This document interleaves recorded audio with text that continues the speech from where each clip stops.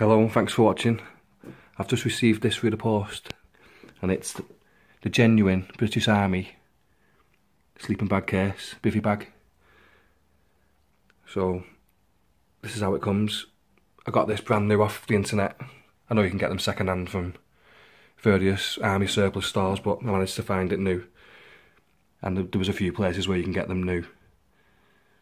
So alright, I'll unwrap it and I'll lay across the table for a better look. Well, this is it laid out anyway. I'm really impressed with the size of it. And it does feel quality as well. Nice pattern to it too, if you're wild camping. But if it, there's no zips on it at all, it's just um, drawstring to fasten. But look at the label.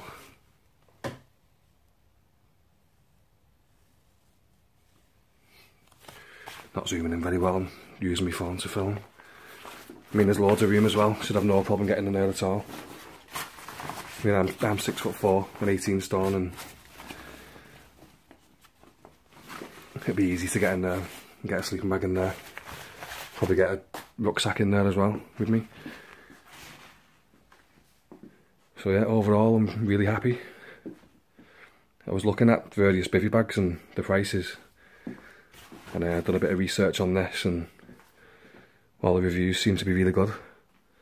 It's Gore-Tex material, really waterproof. It's not the lightest, it's 800 grams I think, but it packs down really well.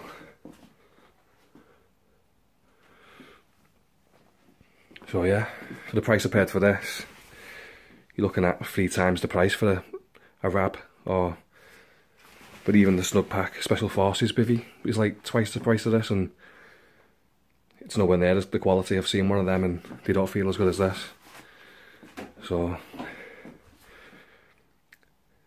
anyway, that's just a quick look. Hopefully in the next few weeks I'll be doing a wild camp testing it out.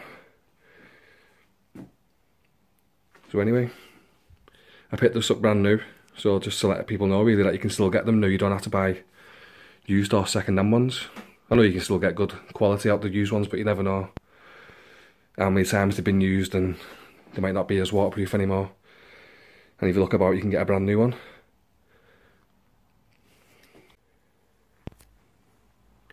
Just a little size comparison here with a sleeping bag.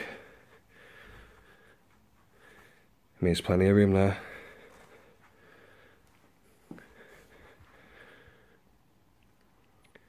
That's quite a big sleeping bag as well, that. And I fit in it quite easily. And I'm 6'4".